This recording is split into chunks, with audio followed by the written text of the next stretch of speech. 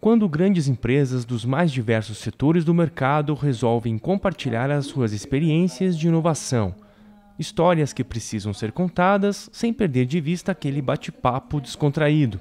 A terceira edição do Inova Session, mais uma vez, aproxima o setor produtivo da universidade no evento que a agência de inovação, o FPR, com o patrocínio do escritório Clark Modet, um dos maiores especialistas do mundo em propriedade industrial e intelectual, trazem com inovações no formato e na dinâmica das apresentações tema esse ano do, do Inova Session é a inovação aberta. E a inovação aberta, ela acontece quando há, existem as parcerias entre os players, entre várias instituições. Então isso é muito importante para a universidade, quando a universidade ela pensa em abrir as suas portas para poder fazer parcerias para pesquisa e desenvolvimento e assim gerar inovação e da inovação ter os benefícios sociais e econômicos de melhoria de vida para as pessoas. Inovações no evento e, e também no formato, né, Patrícia? Pode explicar o que tem de novidade para essa edição aqui para gente? Exatamente, aqui no Inova Session de hoje a gente vai trazer as conexões que transformam. E nessas conexões já começa na apresentação, né?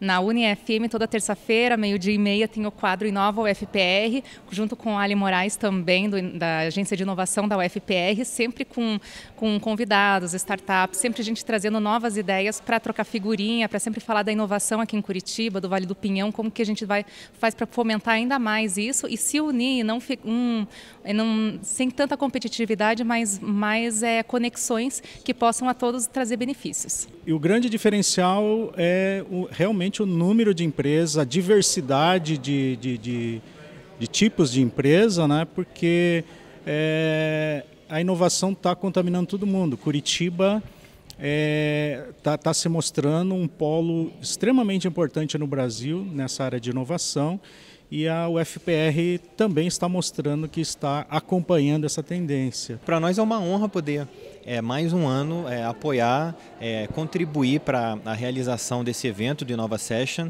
É, a gente já vem desde o início, como você falou, apoiando para a gente.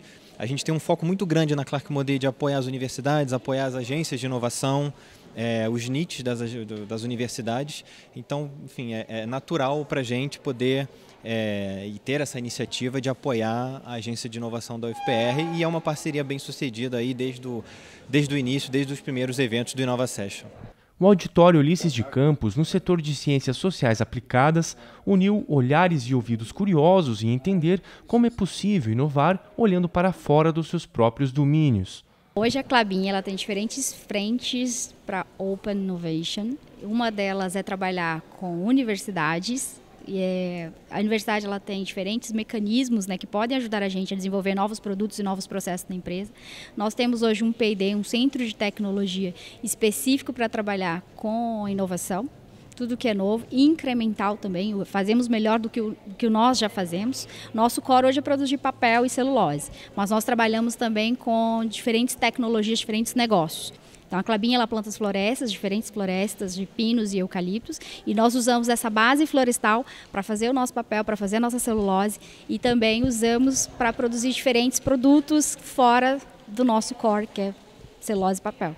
Inovações, por exemplo, podem ser reveladas livremente dentro de um ambiente de inovação aberta, mas vai chegar um determinado momento, talvez aquela é, uma nova inovação é, que foi desenvolvida decorrente daquela revelação livre é, vai precisar de uma proteção. E aí entram as questões de propriedade intelectual. Eu acho que as, a propriedade intelectual e as patentes, mais especificamente, elas não necessariamente contradizem né, é, ambientes e iniciativas de inovação aberta essas duas, esses dois instrumentos que estimulam é, a pesquisa e desenvolvimento é, no Brasil e ao redor do mundo deveriam caminhar nas duas direções. O Leandro e o Jorge estão no Inova Session pela primeira vez, uma grande oportunidade para a troca de informações e de ideias, ingredientes indispensáveis para a inovação.